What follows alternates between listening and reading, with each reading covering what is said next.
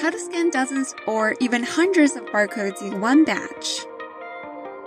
DynamSoft Panorama is a dynamic image stitching toolkit based on barcode localization.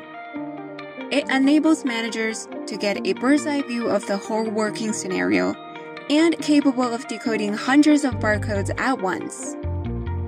The first use case is to scan the data matrix codes on pill bottles. A mobile device is attached to an automated machine that moves alongside the shelf while the barcode reader simultaneously captures the barcode images. Now, you can see all the results in a panoramic view.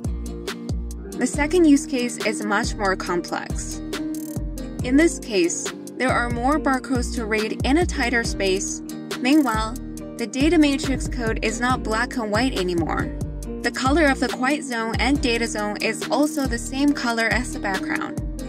DynamSoft Panorama can help you find all data matrix codes on the cassettes in 20 seconds and marks all the duplicated and missed reads if any. In the two use cases I just mentioned, the images are processed and stitched together on the mobile device.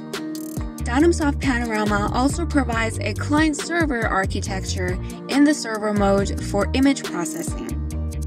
Check out other videos in this channel to learn more about DynamSoft Panorama.